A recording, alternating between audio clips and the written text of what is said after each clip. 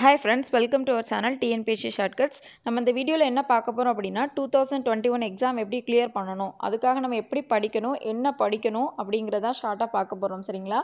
So நான் வந்து எதனால சொல்கிறேன் அப்படின்னா என்னுடைய தங்கச்சி ஒன் இயர் தான் எக்ஸாம் படித்தா இப்போ ரெவன்யூ டிபார்ட்மெண்ட்டில் கன்னியாகுமரியிலே ஜாப் போயிட்டா. ஸோ அதுக்கு அவள் எப்படி படித்தா எந்த மாதிரி படித்தா அப்படிங்கிறத நம்ம பார்க்க போகிறோம் ஸோ அந்த அந்த கொஸ்டின்ஸ் அவள் எல் இந்த புக்கெலாம் தான் ரெஃபர் பண்ணா இதுதான் ஃபாலோ பண்ணா இப்படி தான் படித்தா சரிங்களா? அவள் டெய்லி ஃபோர் ஹவர்ஸ் தான் படிப்பா. எப்போவுமே படிச்சுட்டுலாம் இருக்க மாட்டாள் அந்த ஃபோர் ஹவர்ஸும் ஒழுங்காக தான் படிப்பாள் நல்லா ரெஃபர் பண்ணுவாள் அது இல்லாமல் ப்ரீவியஸ் இயர் கொஸ்டின் பேப்பர்ஸ் எல்லாமே அவள் கையில் வந்து பிரிண்ட் அவுட் எடுத்து வச்சுப்பாள் அது எல்லாமே போட்டு போட்டு அடிக்கடி பார்த்துட்டே இருப்பா. ஸோ அந்த மாதிரிலாம் தான் அவள் படித்தா உங்கள் எல்லாத்துக்குமே தெரியும் two thousand twenty one annual planner வந்துருச்சு. நம்மளுக்கு மே மாதம் நோட்டிஃபிகேஷன் வந்துன்னா மூணு மாதத்தில் எக்ஸாம் இருக்கும். ஆகஸ்ட் இல்லைன்னா செப்டம்பரில் group two group two exam இருக்கும். எல்லாருக்கும் தெரியும் டென் லேக் ஸ்டூடெண்ட்ஸ் எக்ஸாம் எழுதுவாங்க நாலாயிரம் வேக்கன்சிக்கு ஸோ அவங்க கூட போட்டி போடணும் அப்படின்னா நம்ம எப்படி படிக்கணும் அப்படிங்கிறது நமக்கே தெரிஞ்சிருக்கும். ஸோ நல்லா கான்சென்ட்ரேட் பண்ணி படிக்கணும். எல்லா நேரமும் படித்து எல்லாம் விடதை விட நாலு மணி நேரம் ஒழுங்காக படிங்க. அந்த நேரம் நல்ல சீரியஸாக நம்மளுக்கு வேலைக்கு போகணும் அப்படிங்கிற ஒரு நினப்பில் படிக்கணும் சரிங்களா? ஸோ அதுதான் முக்கியம். ஃபஸ்ட்டு நம்ம முக்கியத்துவம் கொடுக்க வேண்டியது எல்லாருமே சொல்கிறது தான் சம் புக்கு சரிங்களா? சிக்ஸ்த்து டு டுவெல்த்து புக்கு இதில் நம்மளுக்கு முக்கியமாக நம்ம கையில் பிரிண்ட் அவுட்டில் இருக்க வேண்டிய புக்கு என்னெல்லாம் அப்படின்னு பார்த்தீங்கன்னா சோசியல் சயின்ஸ். சமூக அறிவியல் புக்கு ஆறுலேருந்து பத்து வரை இருக்கணும். அறிவியல் புக்கு ஆறுலேருந்து பத்து வரை இருக்கணும்.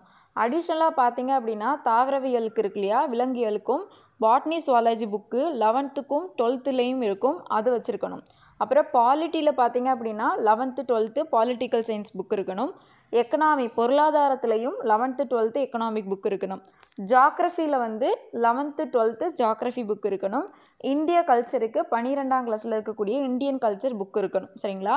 இது இவ்வளவும் நம்ம கையில் கண்டிப்பாக இருக்கணும். நம்ம சமச்சீர் கல்வி ஓல்டு புக்கு படிக்கவா நியூ புக் படிக்கவா இப்படியே குழம்பி நிறைய பேர் படிக்காமே இருக்கிறீங்க. ஓல்டு புக்கில் இருந்து அட்வான்ஸாக கொடுத்துருக்கக்கூடிய தான் நியூ புக் ஓல்டு புக்கில் இருக்கக்கூடிய எல்லா கண்டென்ட்டுமே நியூ புக்கில் இருக்கும். சரிங்களா?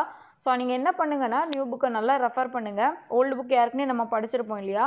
ஸோ உங்கள் எல்லாத்துக்கும் தெரியும் ஜென்ரல் ஸ்டடீஸ் நூற்றி எழுபத்தஞ்சு மார்க்குக்கு உங்களுக்கு நூற்றி ஐம்பது மார்க்கும் நம்ம புக்கில் இருந்து தான் வரும். ஸோ அதை நல்லா படிச்சுக்கிட்டு அதுக்கப்புறமா இருபத்தஞ்சி மார்க்குக்குள்ளதுக்கு ரெஃபர் பண்ணலாம். சரிங்களா? ஸோ புக்கை ஃபஸ்ட்டு நல்லா தரவு பண்ணுங்கள் அதுதான் நமக்கு ரொம்ப முக்கியம்.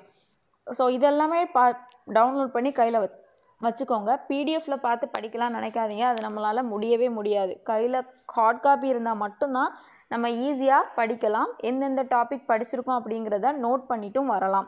ஸோ நீங்களே ஒரு பேராகிராஃப் படித்தீங்கன்னா அதில் அஞ்சு கொஸ்டின் நீங்களே கேட்டு பார்க்கணும். அந்த மாதிரி படிக்கணும். சரிங்களா? அடுத்து பார்த்தீங்க அப்படின்னா நம்ம குரூப் டூயை பொறுத்த அளவில் இருபத்தஞ்சி பர்சன்டேஜ் ஆஃப் கொஸ்டின் வந்து எப்படி தான் கேட்காங்கன்னா நடப்பு நிகழ்வுகள்லேருந்து கேட்காங்க. ஸோ அதனால் கடைசி ஆறு மாதத்தில் உள்ள நடப்பு நிகழ்வுகள் கண்டிப்பாக தெரிஞ்சிருக்கணும். சரிங்களா? அதுதான் ரொம்ப முக்கியம்.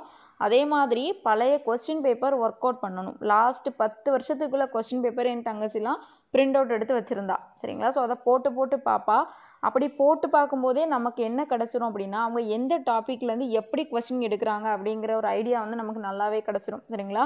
இந்த டாப்பிக்லேருந்து தான் அவங்க மூணு வருஷம் கொஸ்டின் எடுத்துகிட்டே வராங்க அப்படின்னா அந்த டாப்பிக்கை நம்ம நல்லா ரெஃபர் பண்ணணும் அப்படிங்கிற ஐடியா உங்களுக்கு தானாகவே வந்துடும் அதுக்கு என்ன பண்ணணும்னா நீங்கள் லாஸ்ட்டு பத்து வருஷத்துக்குடைய கொஸ்டின் பேப்பரை வந்து அடிக்கடி போட்டு பார்க்கணும். சரிங்களா? அதுதான் ரொம்ப இம்பார்ட்டன்ட் அதே மாதிரி மோக் டெஸ்ட்லாம் ட்ரை பண்ணுங்கள் மூணு மணி நேரம் டைமை நீங்களே செட் பண்ணி வச்சுட்டு நீங்களே செய்து பாருங்கள் அதில் என்னெல்லாம் தப்பு விட்டுருக்கோம் அப்படிங்கிறத மறுபடியும் புக்கில் போய் ரெஃபர் பண்ணி படிங்க. சரிங்களா? கடைசி பத்து வருஷத்துலேருந்து இருபது அல்லது இருபத்தஞ்சி கொஸ்டின்ஸ் வரைக்கும் கேட்குறாங்க அப்படின்னு அவள் சொல்லியிருந்தா. அடுத்து பார்த்தீங்க அப்படின்னா அந்த புக்கை தவிர சமச்சீர் புக்குக்கு தவிர மிச்சம் வரக்கூடிய மார்க் வந்து இந்த மாதிரி புக்கில் இருந்து தான் வருது. ஹிஸ்ட்ரிக்கு வந்து தர்மராஜன் அவர்கள் எழுதிய தமிழ்நாடு அப்படிங்கிற ஒரு புக் இருக்குது வெங்கடேசன் அவர்கள் எழுதிய இந்தியாவின் ஃப்ரீடம் ஃப்ரீடம் ஸ்ட்ரகிள் அப்படின்னு சொல்லிட்டு ஒரு புக் இருக்குது இந்திய பாலிட்டிக்கு வந்து நீங்கள் லக்ஷ்மிகாந்த் புக்கு மட்டும் படித்தா போதும். அதுலேருந்து தான் எல்லா கொஸ்டினுமே கேட்பாங்க. இந்திய பொருளாதாரத்துக்கு வந்து பிரத்யோகிதா தர்பன் அப்படின்னு சொல்லக்கூடிய இந்திய எக்கனாமி புக் இருக்குது ஜாக்ரஃபிக்கு அட்லஸ் பார்க்க சொல்லியிருக்காங்க. அடுத்து பார்த்தீங்க அப்படின்னா தமிழ்நாடு லாங்குவேஜ் இந்த டாபிக் நீங்கள் கண்டிப்பாக படிச்சு தான் ஆகணும் ஏன்னா நம்மளுக்கு யூனிட் எயிட் அப்படின்னு சொல்லிட்டு தமிழ்நாடு பற்றி உள்ள கொஸ்டின்ஸ் எல்லாமே இதில் தான் கேட்பாங்க. அதனால் தமிழ் இலக்கிய தகவல் களஞ்சியம் அப்படின்னு சொல்லிட்டு தேவிரா எழுதிய புக்கும் தமிழ் இலக்கிய வரலாறு அப்படின்னு சொல்லிட்டு வரதராஜன் அவர்கள் எழுதிய புக்கும் படிச்சு தான் ஆகணும். சரிங்களா? இதில் வந்து நிறைய கொஸ்டின் கேட்பாங்க. அதுக்கப்புறம் நடப்பு நிகழ்வுகளுக்கு நம்ம நியூஸ் பேப்பர் டெய்லி ரீட் பண்ணணும். ப்ளஸ் ஏதாவது வெப்சைட் கவர்மெண்ட் வெப்சைட் இருக்கு இல்லையா? அதுலேருந்து கொஸ்டின்ஸ் எடுத்து படிங்க. அடுத்து பார்த்தீங்க அப்படின்னா ஆப்டிடியூட் ஆப்டிடியூட் அப்படின்னு சொல்லும்போது எல்லாத்துக்குமே தெரியும். அதாவது நம்மளுடைய மேக்ஸ் இதில் டுவெண்ட்டி ஃபைவ் கொஸ்டின் கேட்பாங்க. அதில் எல்லாரும் என்ன படிப்பாங்க அப்படின்னு பார்த்தீங்கன்னா இங்கிலீஷ் மீடியம் ஸ்டூடெண்ட்ஸ் வந்து ஆர்எஸ் அகர்வால் அவங்களுடைய புக்கு வந்து பார்த்தா போதும். குவான்டிடேட்டிவ் ஆப்டிடியூடுக்கு இருபத்தஞ்சி மார்க்கும் அதுலேருந்தே நம்ம எடுத்துடலாம்.